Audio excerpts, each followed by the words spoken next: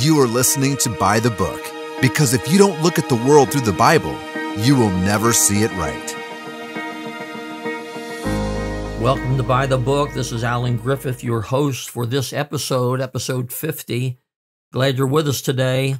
I want to begin this episode by going back to some comments I made at the end of episode 49. And I want to clarify what I was getting at, and I want to challenge you to think about this matter. And what I was talking about at the end, we've been discussing uh, in that session the human spirit and being born again and such.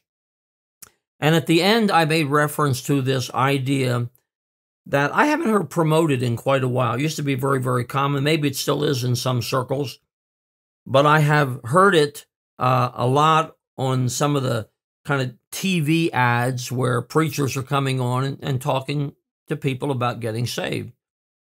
And then they are using this expression, something like this. You need to tell God that you know you're a sinner and you want Jesus to come into your heart. Well, I want to tell you something. That is not good instruction. Uh, I grew up as some of you might know, uh, Roman Catholic. I actually became Roman Catholic when my mother married my stepfather. He was Catholic. She became Catholic as a young person. Then I became Catholic, uh, got involved in the Catholic Church, became an altar boy. Uh, I was an altar boy at the 11 o'clock Mass of St. Norbert's Roman Catholic Church in Paoli, Pennsylvania for uh, a number of years as a young person. And then I am uh, so grateful that I was invited to an old fashioned tent revival, heard the gospel preached, realized I was lost. Uh, the invitation was given. I raised my hand. They sang the wonderful invitation hymn, Softly and Tenderly, Jesus is Calling. And after battling for four verses, uh, I went forward. Uh, my wife, who was a girlfriend to me then, who had invited me to the tent meeting, uh, she walked that aisle with me. That's why she invited me to that tent meeting that I might get saved. And then we, of course, ended up married, and, and I'm so grateful for that. But that night I got saved. And uh, what I want you to know that is if somebody had said to me at the end of that service when I went forward, or in any other setting, if they'd have said to me, now, here's what you need to do to be saved. You need to believe that you are a sinner. Well, I already believe that. I knew I was a sinner. There was no doubt in my mind. Nobody had to convince me of that. So they'd say to me, Well, you need to believe you're a sinner. I'd say, Okay, I got that. And then they'd say, Now you need to ask Jesus to come into your heart. Well, you know, I could have prayed and done that very thing. Dear Jesus, or, or Heavenly Father, send Jesus into my heart, or Dear Jesus, I I invite you into my heart. I could have done that. And I want to tell you something it would have meant absolutely nothing. Absolutely nothing. The, the idea of God coming into us, uh, Christ in you, the hope of glory, or the indwelling of the Holy Spirit. And we're, we're going to get into that stuff a little bit. But, you know, that is what I would dare to call a byproduct of salvation. That is not what you do to get saved. You don't say, Jesus, please to come into my heart. If you are saying that to children, and often that's what we do, or I hear people do when they're ministering to children in Sunday school, Bible school, whatever it might be, they're saying, Oh, boys and girls, you need to come and ask Jesus to come into your heart. No, no, no. To get saved, you have to get to the cross and yes, well, then, you know, then we say that you're a sinner and Jesus died for you. Yes, you need to get to the cross, but you need to understand what is happening on that cross, that you are coming to Jesus Christ. And, and listen, and in coming to Him, you are rejecting everything else you ever trusted in or hoped in to get you saved. In other words, when you get saved, there is a rejection of a lot of other things, and there is an acceptance of what Jesus Christ did for you on the cross as your only hope. It's the shedding of his blood for our sins. That is our only hope, plus nothing. If as a young person, I was 18 when I got saved, if I had gone forward and they had said to me, Well, you know, you're a sinner. Yes. Jesus died for you. Yes. Ask Jesus to come into your heart. Let's pray. You ask Jesus to come into your heart. I could have done that. And you know what? I could have continued believing all of the Roman Catholic doctrine and I would have been lost. And there are other people who who go to church and, and they would say, yes, they believe they're they're sinners and that Jesus died for them. But that's not what they're really depending on. That's kind of a foundational concept. But they're hoping they'll get to heaven because they're good or they give money or they've been baptized or whatever it might be. And then maybe they're going to ask Jesus to come into their heart. Listen, I'm going to say it again. I'm going to emphasize it. Some people won't like it, but I want to tell you if you and I don't get this truth right, there's going to be a whole lot of people who think that just asking Jesus to come into their heart is what means what it means to be saved, and it's wrong. It's wrong. You got to get to the cross. And again, you see that shed blood and you say, My hope is in the shedding of that blood, period. I'm claiming that. That's what I'm believing in. I'm trusting Christ and what he did on that cross. And when I express myself to God, if I do in prayer, I express myself, that is my, my testimony to God. Lord, Father, I am claiming Jesus Christ as my Savior based on the shed blood of Calvary and then the assurance of him coming forth from the grave and resurrection to prove that, in fact, on that cross, he won the victory for me. I can be saved by faith in him. That's what it is. That's salvation. And somebody, when they get saved, especially a religious person, must come to grips with the fact that they have to reject everything else they ever hoped in. And that's hard for a lot of people. Oh, I've been religious a long time. I've gone to church a long time. I was baptized. I had First Holy Communion. I had whatever it might be. We can go through the whole list. And all of that has to be rejected. No, I reject it all. I come to that cross. I put my faith in Jesus Christ and the shedding of his blood. That's what I'm claiming for salvation. That's what I'm claiming. You know, when the Bible says, Whosoever shall call upon the name of the Lord shall be saved, we could talk a lot about that verse too. But I want to suggest to you that that call is not a prayer to Jesus for you to get saved. That term call is like laying claim. It's laying claim. It's appealing to the cross. That's the idea. Whosoever shall call upon the name of the Lord you are appealing to the value of the cross. Say, that's what I'm hoping in. That's what I'm trusting in. Listen, that's salvation. And I fear that seeing so many people today who profess to get saved, oh, yeah, I did that or whatever, I wonder sometimes if people ever got saved because they didn't understand where they really had to go to in their faith. And where you need to go to is the cross. Not easy for some people. Not easy for some people. But you cannot have the Lord Jesus Christ plus anything. You have to reject everything else. Not easy. You have to reject everything else. Yeah, turn away from that's what Paul did when he talks about, you know, used to be a Pharisee, he used to have all these things going for him, and then he says, and I rejected it all for Christ. That's what you need to do to get saved. And if you're here today and you say, well, that's, that's not what I did, well, bless your heart, man, get on your knees and get saved today. You put your faith in Jesus Christ and the shedding of his blood. The resurrection is the testimony of God that what Jesus did on the cross worked. And what you need to do is believe. That's where you put your faith and trust. salvation, how wonderful it is.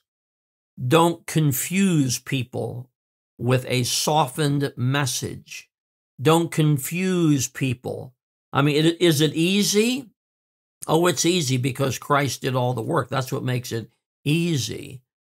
But it ought not be what is sometimes called an easy believism, where you don't come to grips with your own life and your own sin and your own phony beliefs and so on.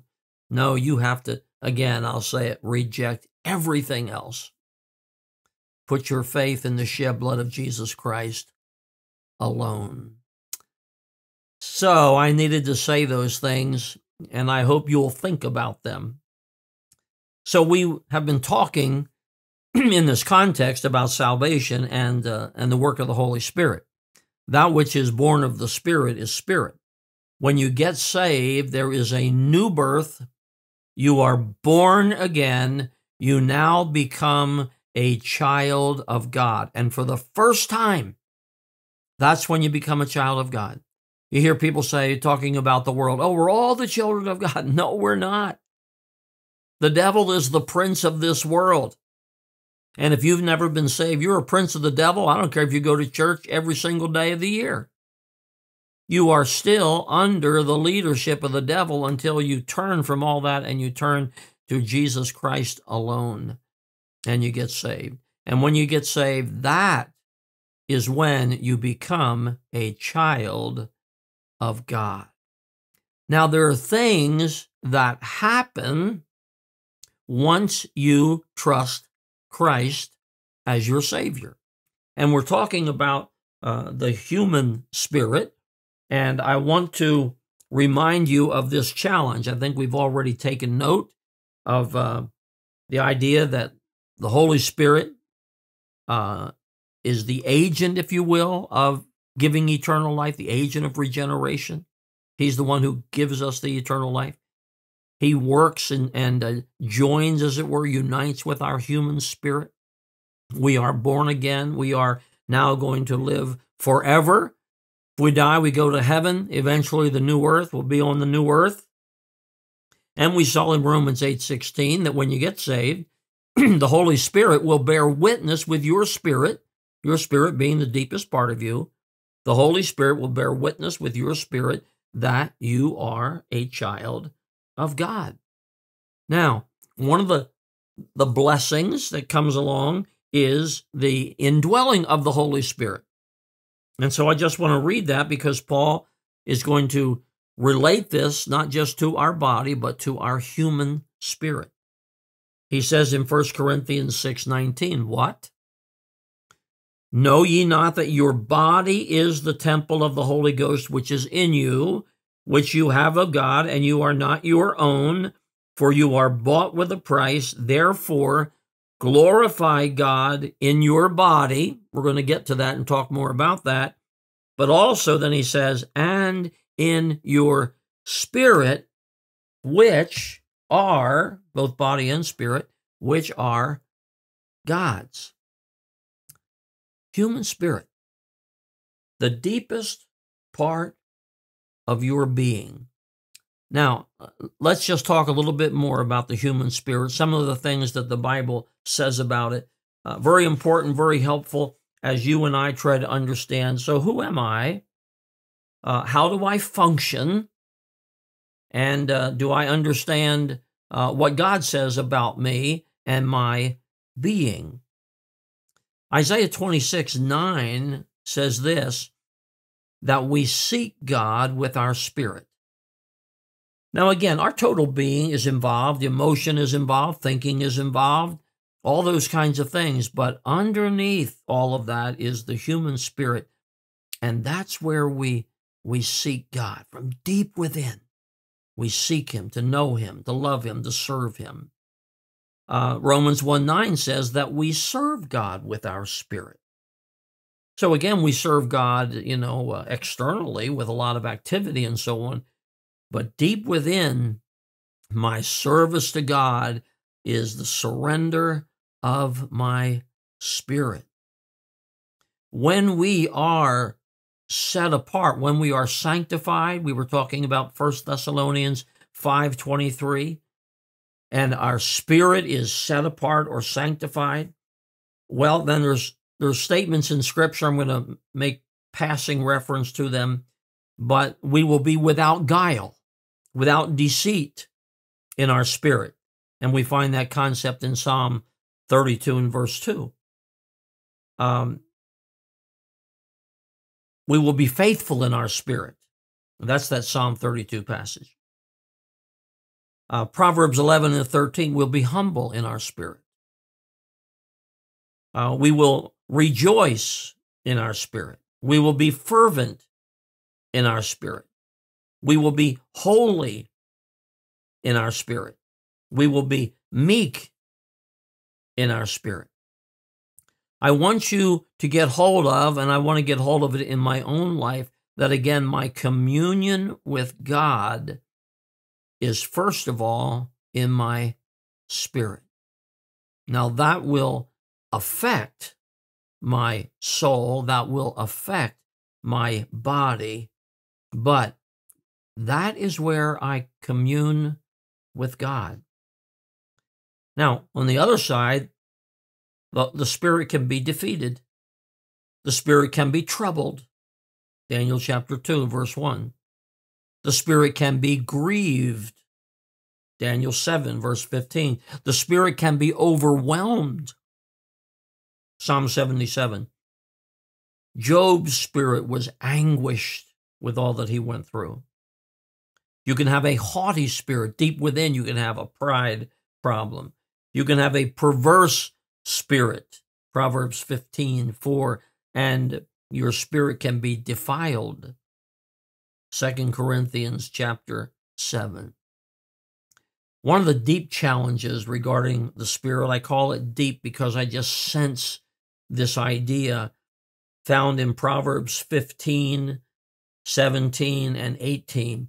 The spirit can be wounded or broken. And the Bible says a, a wounded spirit, a broken spirit. Who can bear that? Who can handle that? I, again, there's a difference between me being emotionally upset, that's soul, but to be broken in spirit just defeats and destroys. Thankfully, the spirit can be renewed. Remember, David cried out for that in Psalm 51, having dealt with his sin. He said in prayer, asking God, renew a right spirit within me. It can be refreshed, it can be revived. Isaiah 57 and verse 15 talks about this work of God of reviving the spirit of the broken ones and the contrite ones. And we can be so broken and defeated through sin and through other problems, but praise the Lord, God can minister to us and can revive us. And you'll never get revival on the outside until you get it on the inside. And if you have it on the outside, not the inside, it's phony, it's surface, it's ultimately meaningless. Let me share with you a verse that I've often shared with people in counseling, and uh, it's it's a very important one. It's Matthew 26 and verse 41. And here's what it, it says. The Lord Jesus was talking to his disciples. He knew the pressures that were coming. He knew the testings that were coming to them. And uh, and they they failed when the Lord Jesus was taken to the cross, most of them ran and were hiding. They weren't there. Matthew 26, 41, the Lord Jesus said, Watch, that means be alert, and pray. Watch and pray that you enter not into temptation, that you don't follow temptation, that you don't fall into sin. Watch and pray that you enter not into temptation. And then he said this because the spirit is willing, but the flesh is weak. And that sets up the battle that goes on uh, in our life as Christians. The battle between our human spirit, wanting, seeking to do right, but our flesh, that terrible aspect of our humanity, that, that fallen proneness to sin of our humanity, uh, always wants to take us the wrong way. And boy, there's the raging conflict. And we're not going to go off on that tangent, but it's that reason that Paul writes in Galatians 5 walk in the Spirit, that is the, the Holy Spirit, letting Him have His way. Walk in the Spirit, and you will not fulfill the lusts of the flesh. So, the human spirit, listen, animals don't have a human spirit. You do. You are not an animal. In fact, the deepest part of your being is your human spirit. That's where the new birth occurs. And the Spirit of God will witness to you and give you that peace that you are a child of God. Now, it's interesting, too, by the way, that the Bible tells us in First Corinthians chapter 2 and verse 11 that uh, no man knows the Spirit, the, the things of God, except the Spirit of God. And then he says, and no man knows the deep things of a man except the spirit of a man. You know, nobody else knows what's going on in the deepest part of you. And that can be difficult. That can be a challenge because when somebody finally sins openly, we wonder how long has that been working in the deepest part, the inner part of their being. Well, you know, nobody else may know, but you know the deep things of you. You know where you are in your relationship with God, where you are in your walk with God. You know whether or not the surface worship and activities and words and so on are phony and fake and shallow, or whether that kind of outward service and testimony is the reflection of the deepest part of your being. You know, the Bible says in Proverbs 20 and verse 27 that the spirit of man is the candle of the Lord, searching all the inward parts of the belly. What's that mean? It means the Holy Spirit will prompt our conscience toward guilt. And we need to take heed to our spirit when it affirms truth Malachi chapter 2 and verse 15 he gives a challenge there take heed to your spirit. In other words, you know the truth, you know what is right, and you need to act on it. And there's a lot of people who who violate really the testimony and conviction of their own spirit because they know. They know that inside they're not right with God. They know that. But they play the game. They go ahead and do what they want to do anyway. So, the human spirit, uh, what an interesting aspect of our being. Now there's another aspect of our being. 1 Thessalonians 5:23 talked about our spirit and our soul and our body. We're going to come back to soul, but I want to talk to you about our body.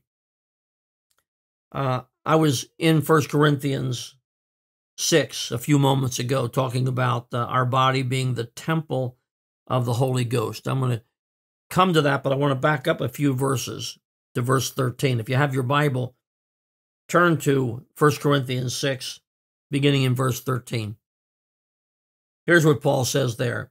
He says, meats for the belly and the belly for meats. Okay, that's that's how our life is lived. But God shall destroy both it and them. In other words, he said, you know, we live in the context of meat for the belly and the and uh, and the belly for meat, but someday he says God is going to destroy it, the belly, and them, the meats. Someday all this human experience is uh, not going to be going on any, any longer. And then he makes the statement. Now he says the body so we're talking now about our body, my body, your body. He says, now the body is not for fornication. Fornication is a word that can be used in a technical sense. We're not going to get into that.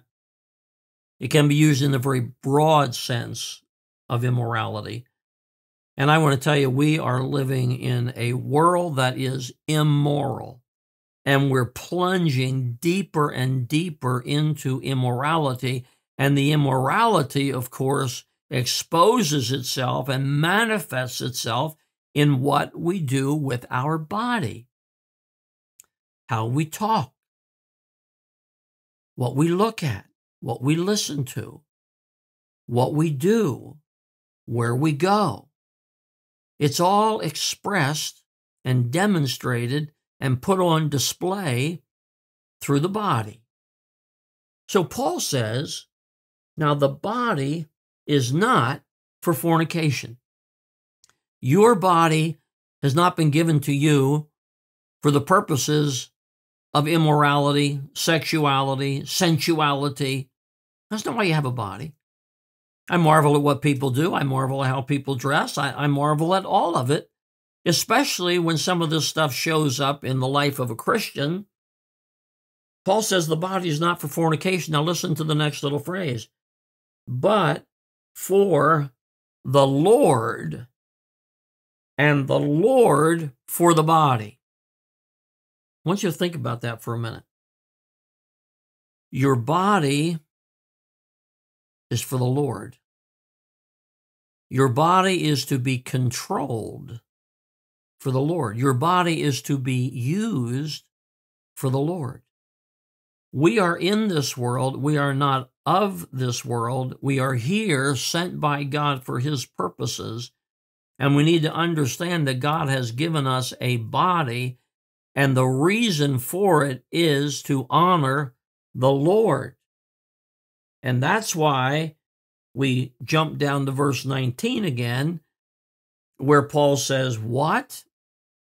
Know ye not that your body is the temple of the Holy Ghost which is in you, which you have of God, and you are not your own. You know, God took up residence in the tabernacle. God took up residence in the temple. God is not resident in any physical buildings today. When we go to church, Sometimes we refer to it as the house of God, but God is only there when he is there in in in us. God has taken up residence in people. It's an amazing truth that happened to you if you're saved. You didn't feel it happen when you got saved. I certainly didn't feel it when I got saved. But when you and I got saved, the Holy Spirit of God entered into us. He took up residence in us. We are the temple of the Holy Ghost. And Paul goes on and says in this verse, 1 Corinthians 6:19, the Holy Ghost is in you. You have the Holy Ghost of God, and you are not your own. And what's he mean by that? Your body is not your own. You're not your own. Verse 20. For you are bought with a price. The price was the shed blood of Jesus Christ. You are bought with a price. Therefore, Glorify God in your body and in your spirit, which are God's.